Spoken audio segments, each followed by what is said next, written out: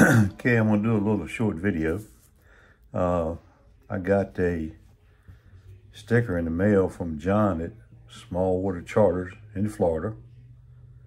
And if y'all don't have his channel, pick him up. They uh, they catch a lot of fish. And I got for my birthday is a dual injector. So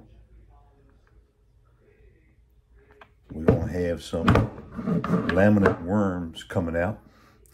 I'm uh, anxious to get started on uh, making some of these.